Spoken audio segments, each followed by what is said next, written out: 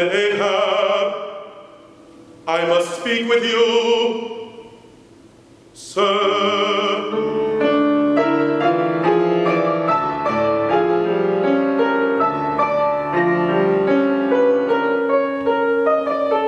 Ah, he is sleeping